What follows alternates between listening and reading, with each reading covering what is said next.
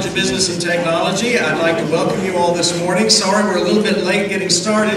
There's a large group coming from Tulsa Public Schools, and they were held up a little bit. We thought we'd wait a couple minutes to see if they get here. They're not here yet, so when they get here, we'll just slip them in the back. Um, hopefully not disturbing the speaker too much. Um, it's great having you here this morning. Thanks for coming. I'd like to make a few introductions before I get to our speaker today, and I believe he has a gift from some of the people, for some of the people I'm about to introduce. Uh, sponsors of this program, the Battenfield Carletti Distinguished Entrepreneur Lecture, are here with us this morning. Dr. Harold Battenfield and his wife Mary on the front row.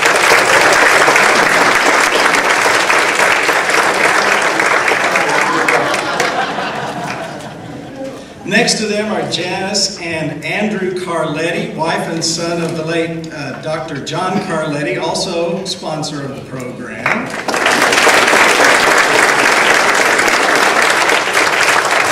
Unfortunately, President Turner couldn't be with us this morning. He's been running from meeting to meeting for days and days now, uh, but he sent his better half in his place. Penny Turner is here as well.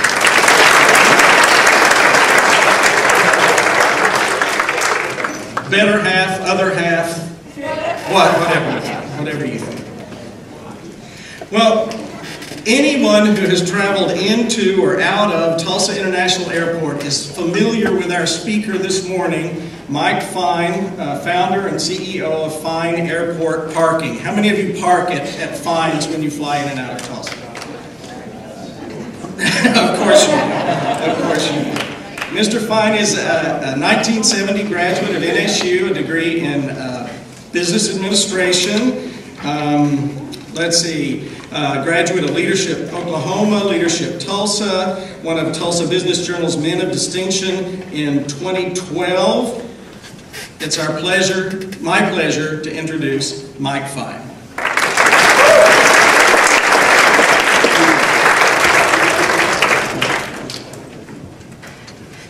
Certainly an honor to be here.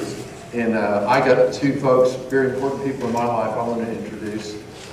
My mother right here. I'd have her stand up, might take too much time.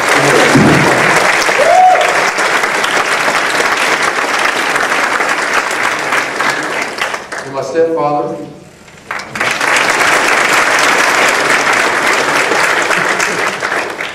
I, am from I'm from Tulsa, but my whole family's from Sallisaw.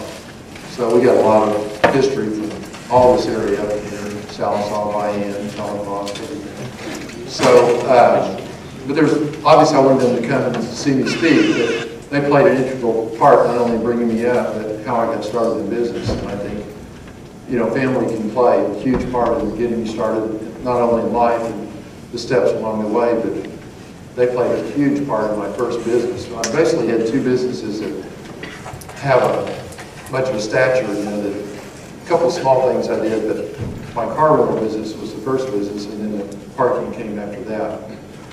But to back up kind of a little bit more toward the beginning, um, grew up in Tulsa, attended Nathan Hale High School, and uh, oh, Doug Paris was supposed to speak today. I guess you guys know that. And I just want to say, say a prayer for him. He has cancer. He's a good friend of mine. And I volunteered to speak in his place. But, um, and I think he spoke here about three or four years ago, too, to the Greeks. Boy, super, super individual. But um, Hale High School wasn't a good student. I mean, I say I'm a C, C minus student on a good side, a good day. But big daydreamer. I was telling my mom a little bit about this. Well, she knows about it because I wish she could actually make a couple of comments about my daydreaming days, which lasted forever. But all those years of sitting in class, bored to death, looking out, dreaming about flying airplanes, driving cars, you know, just boy stuff. But as I got older and got a little more seasoned and got some experience in business, I realized that visualization that I had really was an asset because I'm very good, and she is too, at visualizing where things can go to. You know, seeing businesses built or property developed, you know, whatever. That, that's really important in business. And uh, a lot of my influence came from my early years growing up, not only in Tulsa, but spending all my summers almost in Sallisaw. And my grandfather was a huge entrepreneur. He had grocery stores, feed stores, motel, building safe, you know. He, he just was a pure entrepreneur, but huge on customer service. He was always giving more to people than they expected. And I think that was a great influence on me, being around that type of family life and, and the way he served people in business. And then my father had a small business in Tulsa too. But growing up in the 50s and 60s and 70s, all of us guys worked in our cars for the most part, had a lot of experience with the mechanical side of life, our vehicles. And I didn't realize what a large part that would play, because later on, I mean, everything I was interested in was airplanes and cars, and sprinkling a girlfriend here and there, you know. But, but cars and, and uh, airplanes were what a lot of us boys were motivated to spend time around. And I kind of parlayed that mechanical side into my very first car I bought and resold. My stepfather, Ronnie, uh, had a friend that had a little car wholesale business, and I bought, I think, a 57 Dodge for $75 and bought a can of green turtle wax, waxed it, cleaned it up, ran an ad on it, sold it for 150. That was 100% profit, and man, I was motivated thinking this is a great way to make some money, you know, some extra money. So I kind of started doing that as a way to make some money on the side for, for years and learned a little bit about business, buying and selling. I never had any interest in being in the car business at all. But that was even before college. I started that. But then, of course, Northeastern, I was here from 66 through 70. Had a lot of friends that came here. Great things I'd heard about Northeastern. I actually spent one semester in Miami, A&M. If you didn't play football, though, up there, you know no one. That was a football school. But I missed, I missed my friends, and so many of them were here, so I came down in the middle of the night, mid-semester, or at the end of the semester, drove my four-door 57 Chevy down here, moved into Haskell Hall, spent four years there, two of those years as a dorm counselor, and loved North Northeastern, and learned so much about life and people and friendships. I encourage you guys to, in school, stay in touch with your friends. We all know that as we get older. Don't take lightly these people you know, because you're all going to grow up and be someone somewhere in business, and you need those friendships, you need those contacts in business. So, and even some of your old high school friends, you know, keep keep up with those people. But that's priceless, those those friendships. But I didn't know what I wanted to do in school. You know, I, had, actually I think I had a double major. I think checked that myself. I think was, I think it was business and economics. But back at that time too, Vietnam kept us all, kept us boys motivated to stay, stay in school. But love Northeastern, fantastic school. And, you know, if I could turn time back, I'd do five more years, four years, whatever. I, I, it's the best time of your life. But after school, I tried to decide what I wanted to do. I, I was very motivated to on my own business. A lot of my family did. I wanted to do something on my own. But I didn't want to be in the car business, even though I had this pretty good background for buying and selling and making money. I actually did that quite a bit after school. Went to work at Texaco Refinery for a, a couple of years, desk job in the accounting department. Bored, bored, bored, bored. But it helped show me, you know, what I don't want to do. To get a job at Texaco Refinery, one of my former roommates from here was an engineer, and he got me a job there. The only people they hired were friends and relatives at. I was in the friend category. And you start out doing grunt work there. They, they would put you in these cat crackers and crawl in these big metal vessels and go in and clean stuff. Stuff I wouldn't, you couldn't pay me to crawl in it now because I think it was dangerous. You know, to look back at it. But you know, I worked in Wonder Bread Bakery a couple of summers, and uh, they had you stacking pans when you start to work there. You had to wear these asbestos gloves, and you stack the hot pans after they dump the bread out. And that's the first place they put you. If you get through that, it was a union job, it paid well for being in college. But if you pass that, you know, that test, they let you do some of the other line work, the easier stuff. But it was a great summer job. But uh, trying to decide what, what am I going to do with my life business-wise, not wanting to be in the car business, 60 Minutes had a spot. This is where you always got to keep your eyes and ears open for ideas, you know, always looking.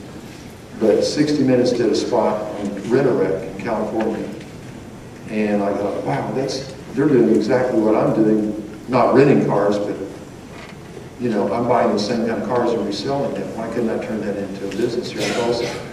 So that's where my stepfather steps in, but I uh, got the idea and didn't have the money. I've been buying and selling cars now for a few years, and I've really proven to the family that I knew what I was doing, and I could make a little bit of money, and I was trustworthy, trustworthy with money. I go crazy. And uh, he was an electrician. His father was an electrician. His brother was an electrician. And again, friends and family, that's the only people they loan money to at the Electrical Workers Credit Union. I was in that category. And he was able to get me a loan for $150,000 75,000 bought a piece of property, which we'll have some pictures here in a second, that will probably show that. I bought a piece of property for $75,000. It was an old Griff's Burger Bar. It was the second fast food hamburger joint in Tulsa. You could buy 10 hamburgers for a dollar on Tuesdays. 10 hamburgers.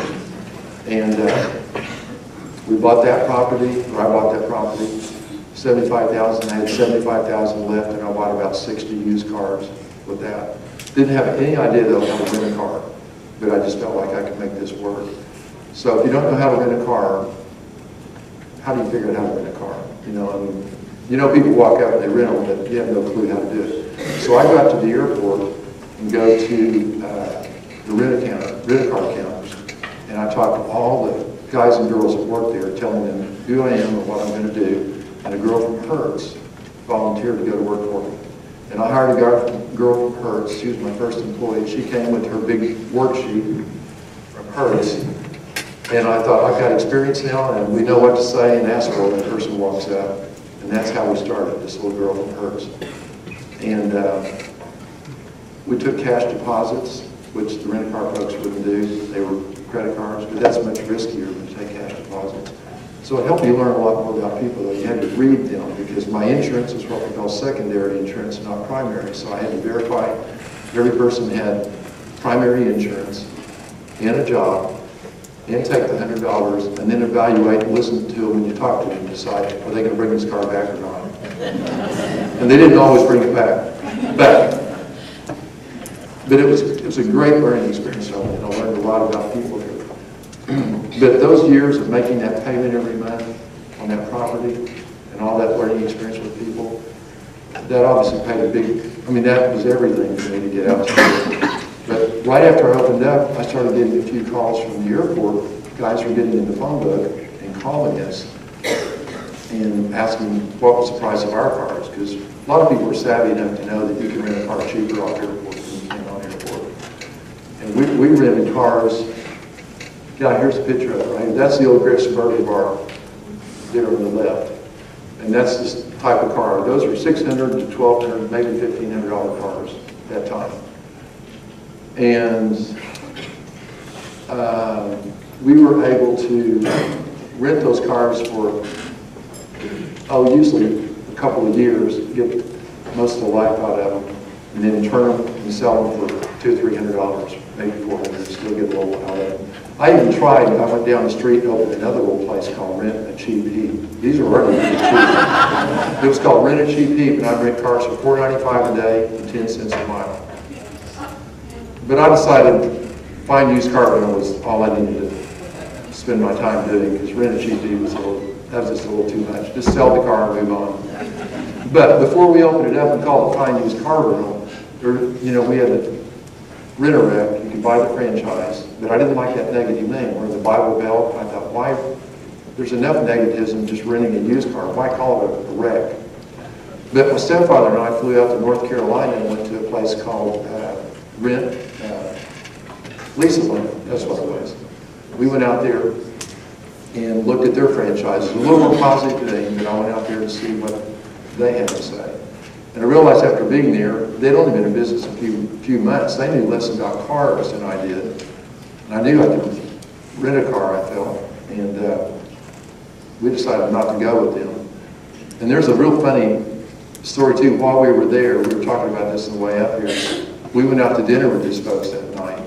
Now, this is a guy trying to sell a franchise to us, the owner of the company and his main sales team. And we went to this nice restaurant, sat down at the table. We had barely sat down. And this lady,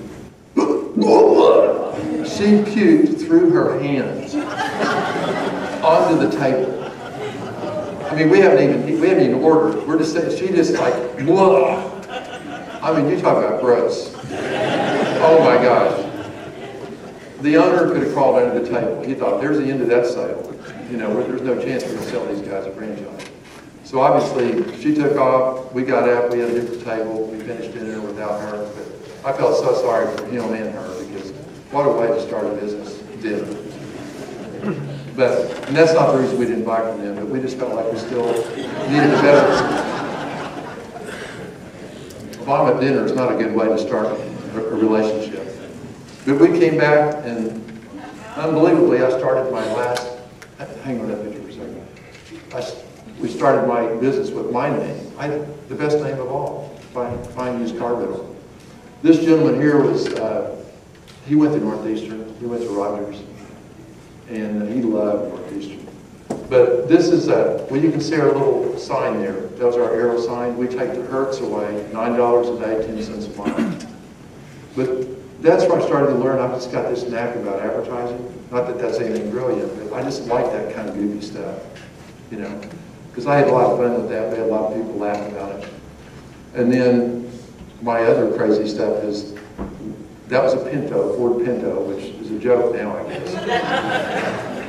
but we flipped that car over upside down. We moved it a little more toward the center there in the grass. And I, I have a picture somewhere with me. We put a little sign on it, and it says, you will flip over our prices. And had this little sign sticking out. And uh, the first night after we flipped it, and it was sitting there, I didn't have a sign on it. I got a call. I know how this lady got my number, but a police woman called me in the middle of the night and said, you might want to come down here. There's been some vandalism at your lot. Someone's flipped one of your cars over. I thought that was really sweet of her to call me, but I told her it was an advertising marketing thing we were doing. And she said, oh, really? Wow, okay. But that was really, really fun. And uh, I learned a lot from that business. In fact, one time I had a couple interesting renters. One time I had a couple pretty big guys came in, looked kind of rough, and they wanted to rent a van. And I, and through the conversation, you find out why they want it. They were renting it for Andre the Giant. You guys know who that guy was? Andre the Giant was in town for some wrestling extravaganza at the fairgrounds. He wouldn't fit in a car. They said, we can't get him in a car. They needed a car cargo van. So I rented a van to them for Andre the Giant. I never saw him, they didn't bring him over. And then another time, car pulls in, an interesting looking guy, white hair, and his Indian, I think girlfriend at that time, it was Leon Russell. And I've got a picture of him somewhere, but he came in and rented a car, and I found out later he, he's very conservative with money. And he rented a car from us because we were cheaper. And very nice guy, very nice guy. But um, coming back to the long story, is our time up yet? Still have a little time left? Okay. Um, how do you get from car rental to, to parking? And by these people calling us from the airport, we realized, gosh, we ought to have, have an airport location. So I started uh, going out to the airport, looking at property around there for car rental. Didn't have a clue about parking. Well, somewhere along in that timeline, my Hertz girl left. This is when we finally signed the contract. No, I'm kidding. It took a while to get the contract signed for parking. But my Hertz girl left, and I hired a girl from Budget. And through her working for me, and I don't have a picture of her, dude, she and I driving out to the airport and driving around looking, we came up with the idea of parking because the airport didn't have the parking garage at that time. All they had was a surface lot, and they were running out of space all the time. And I thought, whoa, you're on the, that's the only road that exited to the airport, that ramp. They hadn't even opened the road from the other side going downtown. So I thought, whoa, you've got the only exit going into the airport, vacant piece of land. They're running out of room. you don't need to do any market surveys or studies for that. It was instant. So uh, I started working on, well, somewhere along there though, I had stopped and met the people that owned the building. And uh, I kind of stepped ahead there a little bit. First, I started trying to rent the corner of the lot in the building. Uh, That's on this property. This is the original building up here. We tried to rent a corner out there to park cars on just for rental. I, I didn't have the idea yet for parking. But after messing with that for, gosh, that was probably a year and a half or so, started thinking, maybe I'm gonna buy this property, but we still were thinking car rental. But the girl working for me from Budget, Budget Rent-A-Car was down the street at Pine Memorial, and they had parking and rental. And through her and I talking, almost about the same time, we go, whoa, what about parking? Oh my gosh. And I was making a living in car rental, but barely. You know, there wasn't, there wasn't much left at the end of the month, but it was still a great start. When we got the idea for parking, wow. So then I started talking to folks about buying the property, but never told them we were interested in parking. And uh, that went on, from the time I actually got the idea until I actually purchased property, took about four years. And most of that was just because these people did not want to sell. They only wanted to rent. And during that time, the airport themselves, uh, I mean, I kept getting a no, no, no. This is a great example about persistence. Whatever, you gotta have passion for whatever you do. If you want to succeed, you've gotta have passion. And I obviously had a passion for it. But I kept getting these no's. No, we don't want to sell it. Of course, I never mentioned parking to them ever. But about two and a half years into this, they told me the airport's going to buy the property. They're going to eminent domain it, put some underground storage tanks for airplanes for uh, fuel, and they're going to buy it. Well, I thought, gosh, it's over. You know, I just thought it's done. But I just kept calling them and checking. And after, I'd say about eight months or so went by, till they said, you know what, the airport's dragging their feet. We're going to give them six more months to get this bought, and if they don't, we'll talk to you. The airport dragged their feet, didn't buy it, and I got a yes. So after about four years of no's, I finally got a yes. Boy, it was all about persistence, because I mean, there's so many times with all those no's, I could have easily given up, but I believed so much in the idea that I thought, you know, I was very passionate and aggressive about, I don't want to be a poor person all my life. I mean, I don't want to just get by. And I knew that if I could make this leap, I could make everything else happen. I mean, I totally believed in that. So I thought, I just cannot, this is a critical point in my life. I could sense it. I could hesitate here a little bit and kind of go, oh gosh, you know, it's just, you know, it's just, I never give up. And as they know about me, that's part of my personality is you don't give up. Especially when you feel like you're really right on something. You know, and obviously there's a lot of God behind this too. A lot of prayers, a lot of, there's a whole belief system there. But uh, I finally got to the yes. Well, then when they said yes, you can buy it. And I think at that time, well, not thinking, I know what it was. They wanted 600,000. I was buying about 300, three and a half acres for 600,000. The airport was only going to pay 500,000. So they were already apart from them on the money. But if I wanted it, it was 600,000.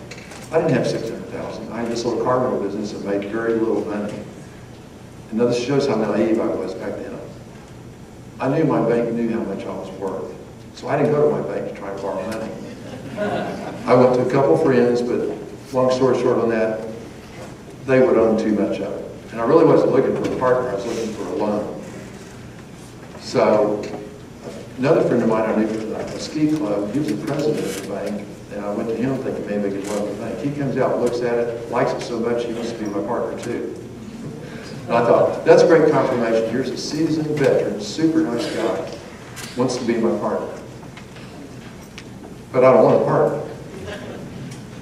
So I kept looking, went to another couple of banks, you know, they weren't interested. The last place I went was my bank, but that's, they knew what I was worth. They loaned me the money. And a lot of that was because I've never missed a beat on a payment. Never a hiccup and all that. And, and because of that, with my stepfather, never a hiccup, saw me always do what I say I do. He got me the loan for 150000 Without that loan, this might never happen.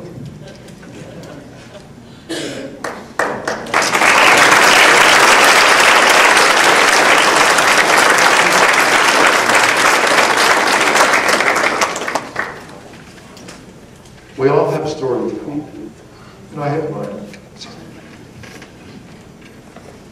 But every day in your life, you're building your story, good or bad. So think about everything you do with your family, your friends.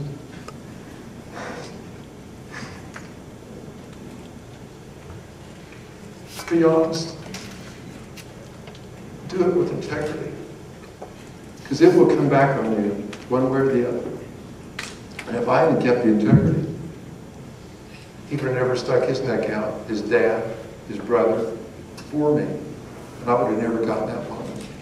And even, even though my bank knew what I was worth, they knew I was very credible. And the property I was buying was real estate. And they valued that a lot. They knew they wouldn't lose anything being real estate. And we weren't spending that much money to make the improvements. But they loaned me the money. And that's how I got started. So I got to went through all those years of no's, finally get to a yes. And that is, that's always stuck with me. You know, if you really believe in something, you gotta have some common sense with it too. I don't mean you just can't just believe, believe, believe. You gotta have to use some common sense, and wisdom with it. But that's how I was able to get started out there. But that little business that I thought, didn't think how important that would be to get that experience and credibility, played a huge role in getting this piece of property. And then, of course, uh, we got open, and uh, I, I'm leaving so much out, I think. I'm not looking at these pictures. Um, I'll say this about this picture right here. We took the existing building, it had this little overhang, and that was where the cars exit. And you can see there's a height there of that overhang. The first vans we bought, see that van back behind there? The height of that van is taller than that overhang. And you already got what I'm getting ready to say. I think this happened a total of about five times. And you can see that bar right there. See that little bar we put up on the left? You're supposed to hit that first. But that didn't always work. And there was a time or two, I think it actually was swung open when they came through there. And my office was right beside that wall. I can remember studying my office, hearing this huge crash. I knew what that meant. That meant about thirty-five to four thousand dollars in money, plus a van out of service. And just like, that's one of the stupidest things to do more than one time. Shouldn't have happened. You know, shouldn't have happened once, but to do it again and again and again. I know we all have stories like that. Now this corner where you see this uh, sign right here, Mike has already run that picture through, I think, uh, right, right here. The three and a half acres I bought did not include that acre and a third on the corner. And that's a very prime piece of property for visual. Plus, what you see right there is called a concrete batch plant. And when they make concrete, there's little flakes of concrete, what do you call it, flakes of concrete flying everywhere.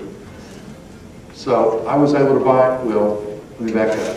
Before I bought the property, I, this is McMichael Concrete in Tulsa. Big old name. Guy had some money, real well-known guy. I went to his business and talked to him about could I put a sign in that corner because it was really critical. This guy was about probably 83 or 4 years old.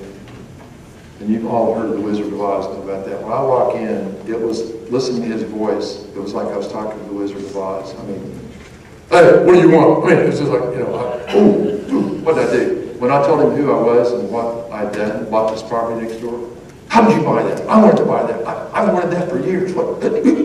You know, I thought, boy, it's not looking good for the sign, you know. so I was respectful, obviously, because you have to be. That's, that's who you are anyway who I am, but um, he let me know, know in certain terms, and he said it. I was there first, and when you park cars over there, the flakes of concrete you get, live with it. Because I was there first. I said, yes, sir. I don't know if I, don't know if I bowed, but it was very respectful, yes, sir. So we didn't park cars there for a long time until we really had to have it. But he was allowing me to put a sign there, which was really critical. But then it got to a point where we really needed that corner, and I went to talk to him about buying it. I think it was 200, and not, I paid 600, you know, the critical part, it's three and a half acres. I think I paid him 230,000 for one and one-third acres. But it was a critical piece of property, it joined ours, and there's no other real, it was a very important piece of property. So I was able to purchase that, and uh, that was huge. You know, we have another sign there now, it's, it's an LED sign, I mean, it's just a critical piece of property. And we took the batch plant down, or they took it down, they, they used it somewhere else. But, uh, and then there was another piece of property, well, this is one of them. I didn't own this, I did at this time, but this is south of our property. And this was just a, about 15 feet below grade, you can see all the dirt we brought in. And I bought that, I'm starting to think about where can I expand to, because we didn't have much to start with, three and a half acres. I went to the railroad and talked to them, or checked to find out who owned it, the railroad owned it.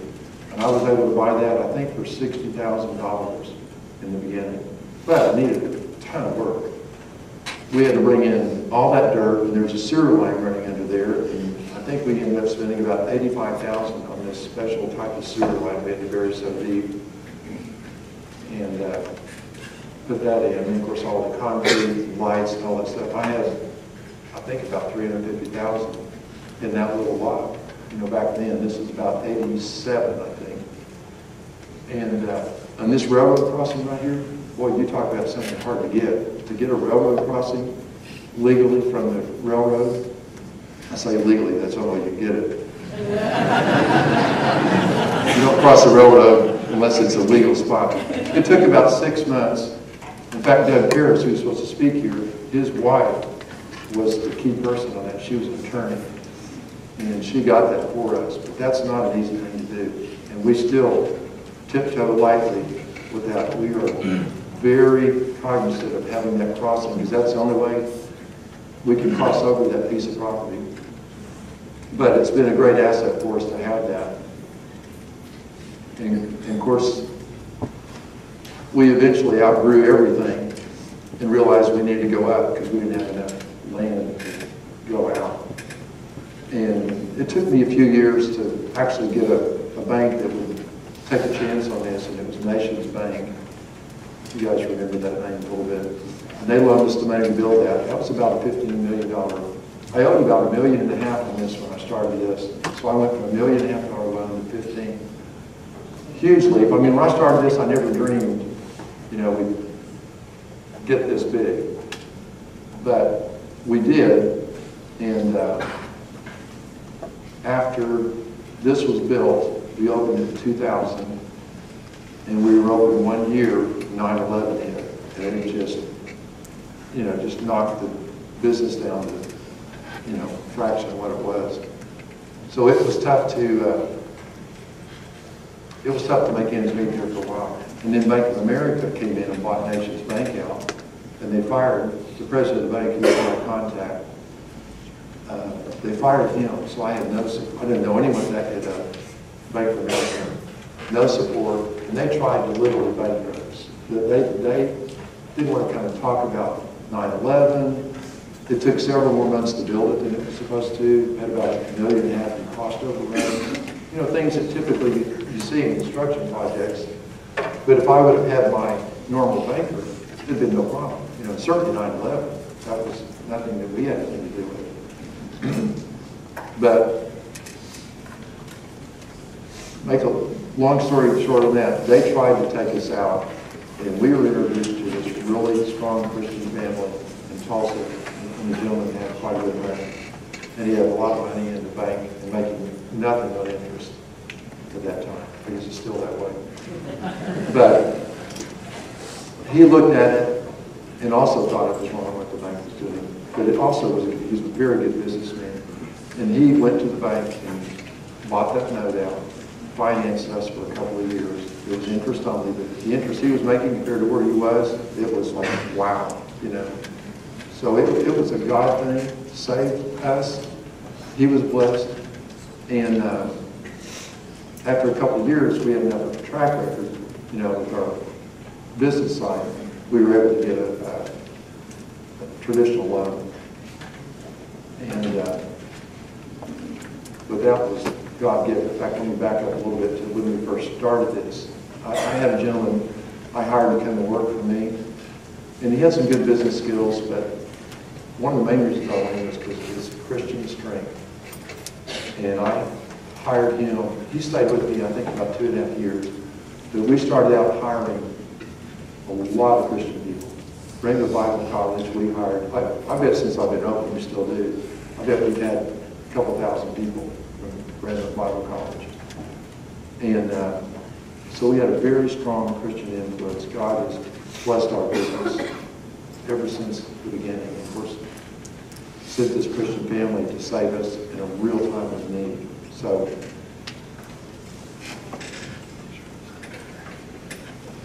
you guys know, but I had a brain tumor removed a year ago this month.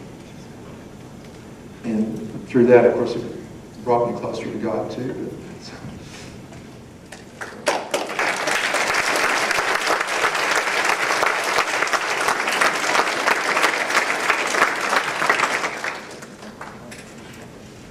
I've always known it, but it came so clear how much, how much God played a part in all this. Because C minus student, I mean, I was not book smart. I had some common sense. But without, this is all his. Became very clear. I'm using his assets. And he's given me all his people. It's all due to him. And it became so clear to me through that. And even this first gentleman I hired, he didn't stay with us for more than two and a half years because he had some things he wanted to do in his life that he had a passion for. But that Christian influence, which I recognized I wanted, God gave us that and it never went away. And we hire friends of friends, we still hire from Rhema School, but we have such a, you know, for those of you that have been with us, you know, I hear it all the time, what great people you have, what great training. I can't take credit for that training. I don't know how it happens, some way it happens, because I'm not an operations person, but it's God. It all came God. And Mike Henley here. I don't know where to start and stop when I use this. Mike Henley's our operations manager. Yes, help me. Oh, yeah, yeah, let, let, let me go back to that because I'm getting ahead. Mike's come in, Mike's been with me about six years. It was not easy getting open. When we got open, this other friend of mine, I was telling you about this with two and a half years, we went over to the airport, kind of like, I was so naive. I went over to the airport, talked to the, to the, we went in and talked to the, sat down in the office with the, uh, uh, airport director told him who we were and what we were doing. He goes, yeah, we know who you are. And it's kind of like sarcastic right off the bat. We know who you are. We know what you're doing. We wanted to know, is there any training, any uh, uh, licensing, blah, blah, blah, anything like that. And all he did was tell us these four things they're going to do to me. They're going to possibly block off memorial at some point because it's some way tied into the airport. That was one thing. They said, we're looking at condemning your property in the next five years. Well, I knew that probably wasn't an empty threat because that's what they were talking about before a lot of. We're going to be charging you a fee at some point. Uh, oh, and then he even mentioned you can donate your land to us and lease lease it back from us, and there's some tax benefits for you. He said, I know if that's circumstantial, that happened somewhere. Thought, are you crazy? Donate my land and then pay you rent. That's the way it started. So we walk out around there, there's no licensing, no training. So about a week after that, we weren't even open yet, I get a, a cease and desist letter from him, not from an attorney, from him. It's very short and sweet. Cease and desist all shuttle operations to the Tulsa International Airport. You are not properly licensed to do business at the airport. There was no license, that's why we were there. And it wasn't from the attorney, but, I mean, that's the way, and that was just the beginning. Oh my gosh, they ticketed our vans, they run us off from picking up people in the concourse, they passed an ordinance to make us pay a fee, and we, myself and Budget went together on that, because they still had a parking lot down the street, we won that in court. But I don't want to go all into it, there's, there's so many things I can tell you they've done, and they've manipulated prices ever since I opened up. That's a whole other story. But we've done, I wish I had all of them, but we've done a various amount of uh, billboards over the years. Oh, and that's another story too. When I bought the property, there was a couple of billboards on the land, and those leases were expiring. And when I found out what it cost to build billboard at that time, was about twenty-three thousand to build one, and they rented it for about thousand, twelve hundred per side. But you could pay for it a year or two easy. So I ended up, I just built my own billboards, but uh, I liked that so much. When I saw the money and the math involved in it, I thought, well, why can't I buy some parcels of land around town and maybe put up billboards and let the billboards pay for the land? Because I like land. Land is an awesome way to build some future, some equity. And I did that. I actually ended up buying a total of about 110 acres, put up about 32 billboards, built a business for that. And then the boards that I didn't rent and normal advertisers, I use them for us. So there was a great back doorway there to take care of those vacant spaces. Put us up, and then the rest of them made money. And I did that for about 15 years, and then Donrey, it was actually Clear Channel they came in and purchased for four and a half million dollars. Those 32 billboards sold for four and a half million dollars. That, that was an incredible investment. But it shows you, that all started from car rental. It started from working on cars. And if you think it, you always keep your eye out for one thing you may be looking at, but there may be a leg or something even better than what you're doing. Car rental, you know, working on cars, carbon. So I'm renting cars. Then I realized I can rent cars at the airport, but I can park cars, renting car spaces. Much bigger business, much more opportunity. And then when I show up out there, there's billboards out, I realize there's a billboard opportunity, I can rent billboards. So the three businesses I've really made money at are rental. And, and as you know, if you think about everything in life, you know, apartment rent, house rent, whatever, rental is a big business in this world. You know, and I don't know what, who wants to be in business in here, but just think about ideas and, and rental. It's, it's, it can be one of those things you can get into if you can find the right thing that is not that much of a reach. Of course, owning real estate, there's any way you get in and make a payment on something while you're building your business, to me, that's almost double dipping. I'm not gonna say never rent, you know, you have to do that sometimes, but if you can figure out a way like we did here, to own your own property. Oh, backing up to the car rental business, when I, I left that little piece, when the bank loaned me the money, since I'd had such that perfect track record I talked about, I needed about $150,000 of my own money to make that work. Ironically, that's what I sold my bit- car business for, was 150,000, and there was a couple older than me that was, he was work, she was working for me renting cars, he was renting my little three-bay garage over here where I worked on cars. He was doing that for some side work for Southwestern Bell. They had a track record there. They knew they liked the business. The bank loaned them 150000 That was my 150000 that I needed for the bank to get the loan at the airport. So they financed me to sell, which I needed to sell that business. So that just dovetailed right into stepping out of car rental, right in, right into parking. But, you know, putting in a service business like parking, anyone can put in asphalt, a ticket booth, and say a parking business, but we're all about customer service.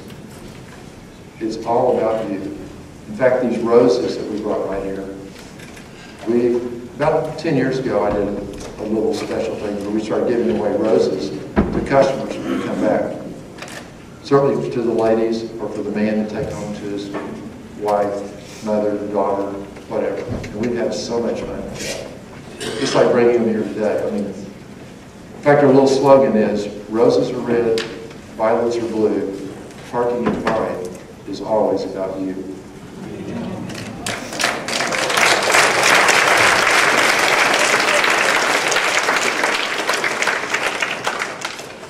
Was a God-given. I was on my way to go meet a Christian life coach that I got to Tucson, and that came to me just as I was rounding the stoplight almost at this place. I thought, wow, that was. Anyway, on any plans. uh, another little promotion. Oh, yeah, yeah. Mike's got a little video here of, uh, we talked about the, the vans. Oh, okay. We've got another promotion we've been doing, it's called Find Dago, but it's, we got a great marketing guy, and he's come up with uh, a little dance that we do. And uh, we we made a little dance for it, and when you come in a park, if you want to do a little dance, go day, free parking, free t-shirt. And you can get on right now on Facebook, find your parking, see Find Dago.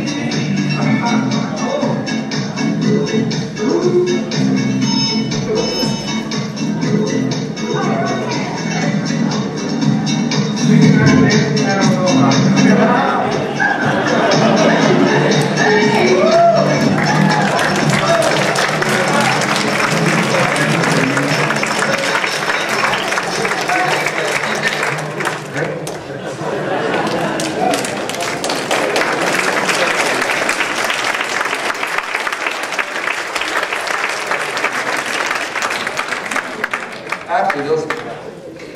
is Funky Chicken, 1969, I believe it is. and then you buy lambs and buy cigs at a dance contest. And me and my partner, Kathy Collins, she, she made me a pair of zebra bell-bottom pants, bell-bottom pants was coming out for me. And she and I entered that dance contest and won that dance contest, doing basically this stuff. Oh, you said too much about the language? Well, the next dance contest I did was last year. They had a uh, Dancing with the Little Stars. It was a fundraiser in Tulsa. It's, it's just like Dancing with the Stars, except it's a local version. You dance with a, you know, teacher. And I went through about five, six weeks of training with a teacher. And it was at the OU Schusterman Center, I think.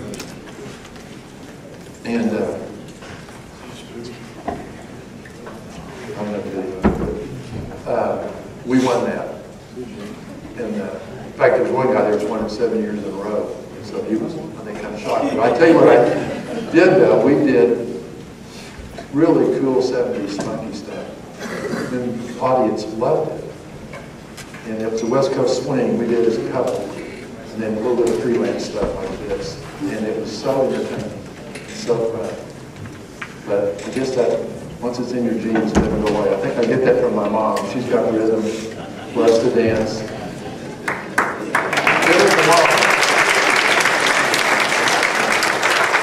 Lots of memories of these two going out and dancing when they were dating years, they were young. That was a big part of what the couples did back then. Yeah, I want to show you a little video here of of our bands running around.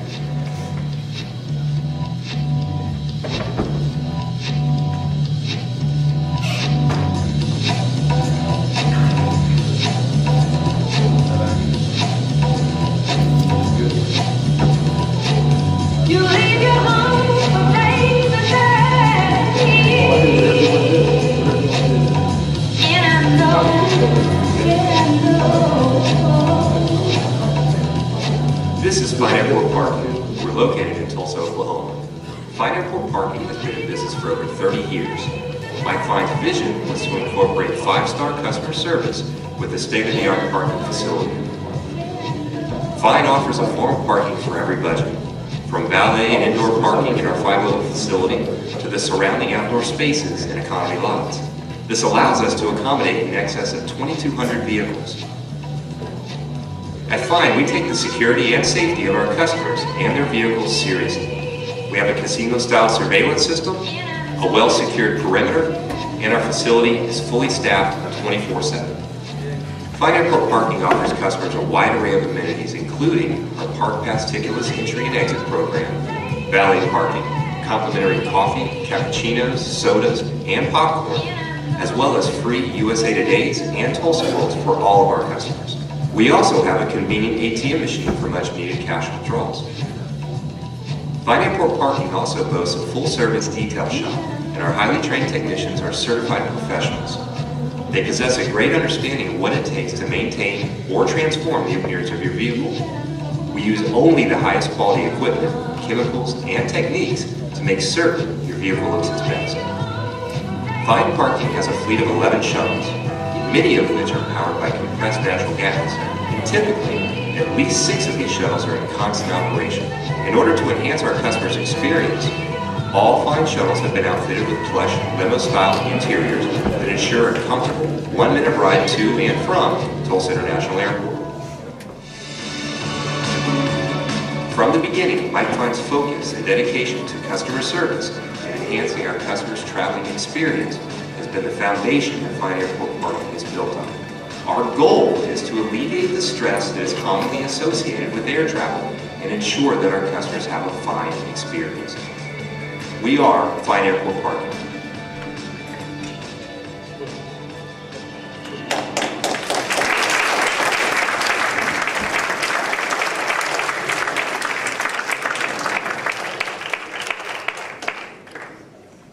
My daughter's a dancer. She runs around the house all the time doing all this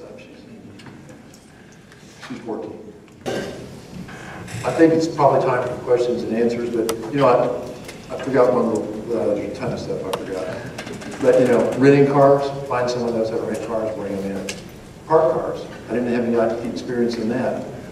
And I went to Houston, to buy some, my first group of vans were used vans. I was at a place called Park and Fly. Bought these vans, a lady came up to me and said, I'm interested in moving. She had some personal tragedy in her life, wanted to out of Houston. I hired her. She came up here. She was kind of like my Hertz lady. I had someone that had experience in car parking, and she worked for us for several years. Super nice lady, but that, that kind of gave me that same confidence that I had with the carpool folks. Just keep it, that'll, keep it simple, stupid, that's, you know, you can still make it a C-minus student, you know, you just gotta use your common sense. Don't, don't give up. But brainstorm with your friends, man, I, there's so many ways you can make a living, but brainstorm, it's free. I love brainstorming. We do it for advertising, marketing ideas, customer service ideas. I mean, we could spend way more time talking about some of the details of what, what we've done, why we've done it, what's worked, what's not worked. I mean, I'd give another talk if I had to, even though I don't like to talk to other people. You guys are really extra special. You guys have been easy on me. Almost feel like I'm at home, just me and mom and a few of her friends. Mom, you got a lot of nice friends. Question and answers? Mike, do you open another expanding beyond Tulsa? Oh, yeah, that, glad you said that. I thought of that a while ago, and I forgot to mention that. I've had that question asked for years, you know, what about another location? I, I've always looked, but it's not easy to find a good location. But long story short, I bought property in Denver. I bought the first, first 77 acres I bought nine years ago. I bought the second, second 77 right next to it about two years ago. We're just south of the airport. We're four miles from the terminal. The closest off-airport lot now is, off-airport lot, is eight miles. So we're half the distance. And there's another one going in a mile closer than we are.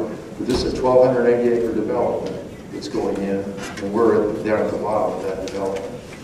So we bought more land than we need, but we've got opportunities now to sell land and make some money. So I bought this early, and that's another great thing about real estate. You kind of understand real estate, you get in early, because I, I knew before anyone else did, or most people knew, that this development was going in. So I was able to purchase property fraction. I mean, we bought property at, first piece I bought at 50 cents a foot. You know, now it's worth a minimum $4 a foot. And I bought the second piece, I got around a a dollar with it, probably. But we'll make money in real estate just for the buy. But the, but the parking lot, that's the cash cow. That's what allows us to do everything off the chart compared to Tulsa. In Tulsa, we've had to fight for everything. It's really tough there. Denver's off the charts bigger. In fact, they have about 60,000 spaces between the airport and the off-airport lots. Tulsa, we probably have between us and the airport, 6,000. And they, and they're growing about 4,000 spaces a year. That's how much more parking they need. So, not easy to find land now, I mean, it's already tightened up a lot, prices have changed. But to answer your question, we are expanding into Denver. What's not to love about Denver? You know, you just get off the airplane there and you go, wow, this is beautiful. I'm not Oklahoma anymore, you know. Question? Now, I was told this was a class that really wanted to get into the parking business somehow. So where's all the questions? Car detailing aspect, I think that's a, that's a great idea. Is that your idea? Well, it was, but I'm glad you brought that out. It is, it is the, it's a great idea, it's a great compliment to being in parking business, especially if you want to valet. Of course, you gotta leave your car valet anyway to, to get a detail. But literally, to make a long story short now, I would not do detailing now that I know what I know, if I didn't have to. But it's such a huge part of what we do. But I learned the hard way that if you don't have a great manager and the expertise, it'll cause you more headaches than you could ever dream of. Because people look at a car so different. When they come back from, the, you know, flying and they have a car detail, they walk around it with a set of eyes that who knows when they've really walked all the way around the car looking at it like that. So when I first opened, we had a detail shop. But back then, we didn't have digital. All we had was film camera. We didn't take pictures. We didn't have any pictures. But we were always getting dinged by customers well, that, didn't wasn't it. We didn't have any anybody proving it wasn't. I paid literally thousands and thousands and thousands of dollars that we didn't do because I've had this philosophy from the beginning, keep the customers happy. And it's a form of advertising, you know, the goodwill you build. So I felt like I was contributing to my advertising fund by keeping all these people happy, even though we knew we didn't do it. You know, because these are all used cars, they all have names in them. And I think every so often we have someone new that ding you know. But boy, when digital cameras came out, we got with it with that. So now when you park in valet, or de- details, anywhere in the valet, we got pictures inside and out, pictures everywhere. And we're saving you from you, us from you, and you from us. I mean, you know, Mike has to deal with that every day. It's just a part of the valet business. I don't care if you have a hotel or what. It is a huge bit of the business. And of course, detailing makes it even tougher. But back to the expertise. I've had various managers over the years in the business. I couldn't give it up. In fact, I tried to close it a couple of times. I had so many complaints from customers wanting that business back. I had to open it back up. But finally, I got tired of trying to hire locally. There no one had the expertise. And I knew enough about detailing. I knew there was no one that has the expertise. I've been to car wash conventions, knew there was other expertise out there. So I went to a company in California called White Book, which is a highly respected and they had trainers. You can send your people out there and train, or they'll send their trainers out and train with you. I sent two of my managers out there. They started training under a guy, and they said, this guy is awesome. We went out there really looking to hire someone. This guy's awesome. And uh, liked him, and I said, okay, let's, let's bring him back here to train our people. So we did. And he was awesome. I thought, this guy likes us and we like him, could we hire him? I want that individual to stand up right now.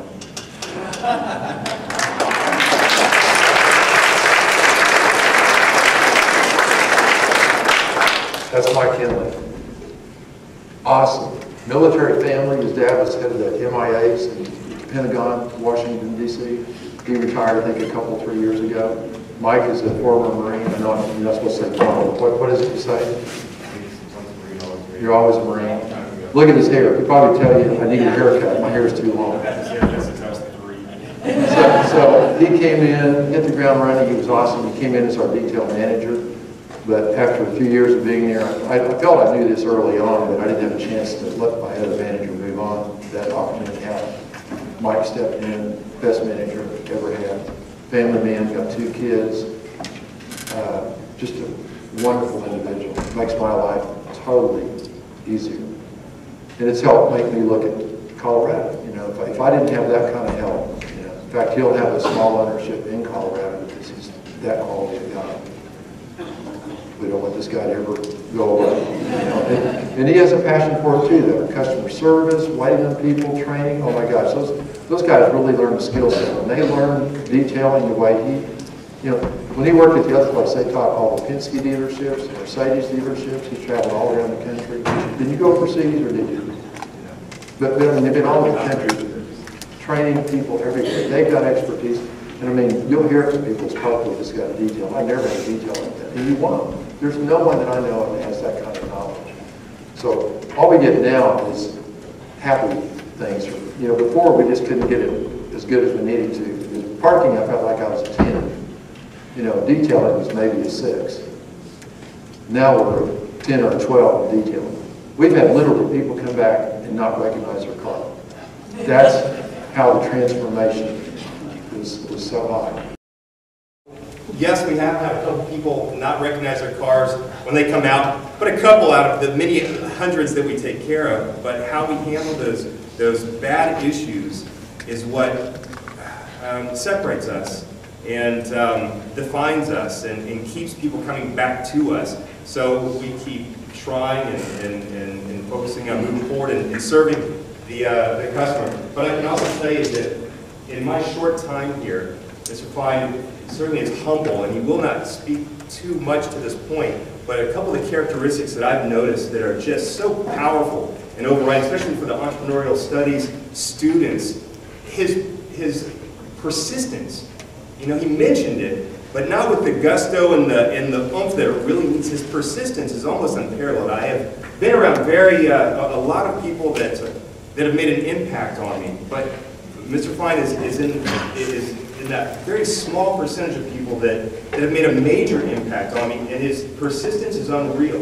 The obstacles that he faced in just securing that land, he downplayed so immensely.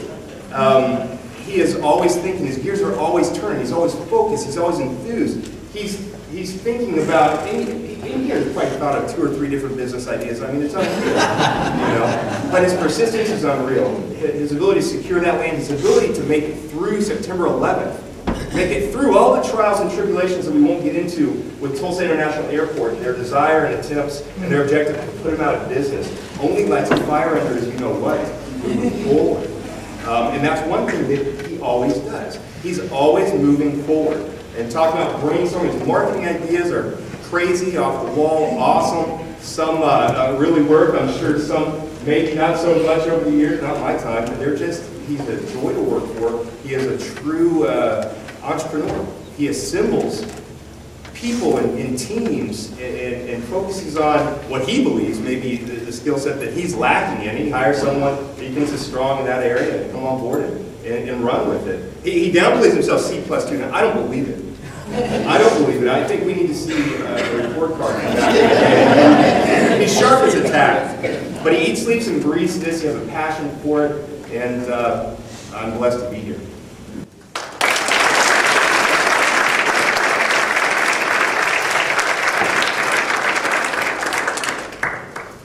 Spoken like a true loyal employee, right? That- Well, talk about modest. He quickly moves away from him and to me. Did you notice that? Quickly moves away. I could go on and on about him. He is incredible individual. Not just because I'd say that about him if I, if I just knew him as a person knew what was out. He's, he's incredible. He makes my life so much easier. It's a great combination, his respect for me and who I am, you know, I don't sense any ego, any contest. We both respect what we, talents we both have, and we're able to pull that out complement each other.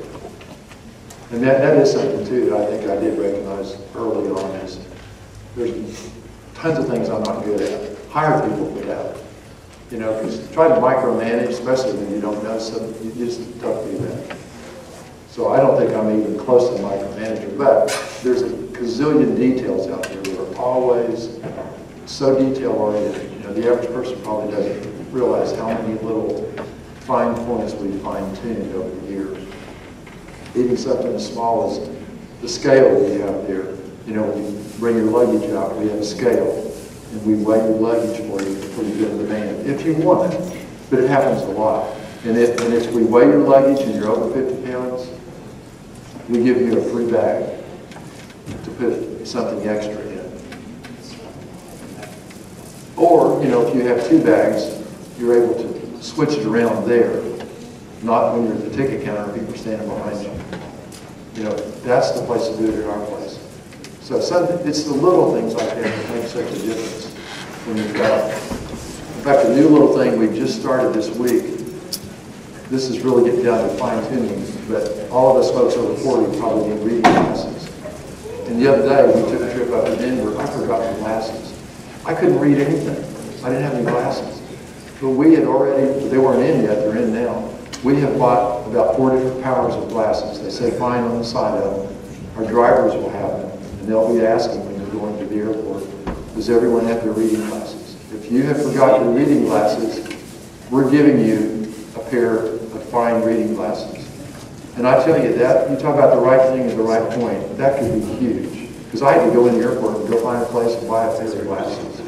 But I didn't get to read the paper or read anything way up here.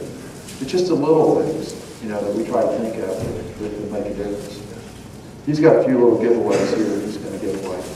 Mike, Yes? I'm not a loyal employee, so nothing to gain from any commentary, but you and I have been in social studies at the university over the years, so we saw each other in the airport in the Pike area one day, headed to New York. And just to validate what you said, we spent the majority of the trip talking over the seats on the airplane about marketing strategies and brainstorming. And to those that were with me and saw you, that was so impressive to them that you were so interested to know what people thought about your business. Um, that just that interaction with you and those other people that were around you made such a difference in where they chose to park the next time they came. I don't know what you said, it's made me think of something. It's a good example of making lemonade out of a lemon. And the airport's tossed me lemon after lemon. When I first opened up, we wanted to be on the airport call board. You you know what I'm talking about? You know, hotels on there, restaurants, blah, blah. They wouldn't let us be on there. They wrote me a letter back and said, you're in competition with us and you can't be on there. Well, legally, I bet they couldn't have done that, but I was still so green, I didn't have an attorney, you know, I didn't press them on it. But we could not, when we first opened, we didn't have a van there, we felt like enough. We tried to, but we thought, we'll just get on that call board, it's not very expensive. And Budget had a phone up there on the rent-a-car counter, you know, so if you wanted, needed a van, you just use their phone. We thought, we'll just be on the no problem. They wouldn't let us be on there.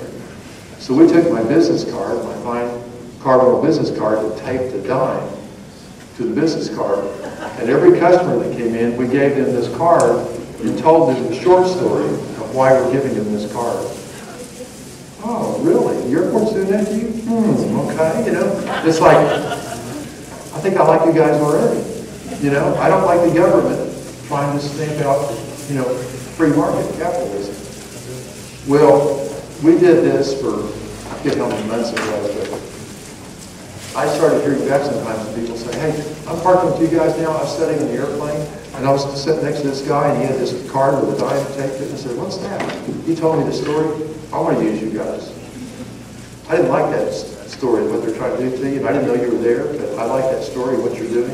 I'm going to park with you guys. So we actually got business out of that. Now, we didn't do this very long until the price of a phone call went to a quarter. I thought, wow, you know. But I mean, I've been doing that with the airport all these years. They throw us a lemon and we turn it back to lemonade. We, I've heard privately from a few people say, you frustrate the airport so badly. Everything they do to you, you turn into lemonade. But they just made me a stronger competitor because it's my nature to figure it out and do it better. But back to my original thought, it's always about you. And just keep that focus always about you, and keep it fair, we will win your business and your friends. You know, just don't ever change that philosophy. Where's, uh, oh, we need to wind it down? I gotta go, oh, I gotta go move some ballet cars, he said. We'd have started earlier, but I was valeting some cars. Who wears reading glasses? I brought a few of them out. Who owns a car? Who owns a car? I mean, who who would, uh, reading glasses? What prescription we have to? I- I've had some fun here with couples sometimes on these roses. If a woman comes through with a man and for some reason she doesn't get a rose, and they've been parked in valet, and I've walked out there with a rose and say, you know, the door's open, I walk up to her and I say, this is your husband, right? Because this one time, the lady was a little bit younger, and I thought, is this a daughter or a husband? I wasn't quite sure. So I said, this is your husband, right? I said, she said, yes. I said, oh, good. He wanted to make, he wanted to make sure that you got this rose before, before you left. Oh my gosh. If you have seen the look in both their faces, neither one of them knew what to say, because she's thinking, did he really say that? And he's thinking, boy, he's making me look good. I don't know who that guy is, but thank you. But he can't say anything. He's just enjoying the moment. Well, I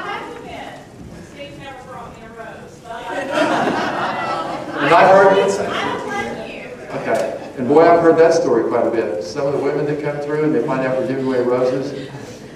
Because I've had a few men say this. Well, I take her rose, but she, she think I did something. We just have a lot of fun with it. It's, it's all positive. For someone who doesn't like to talk in front of groups, I think you did a terrific job.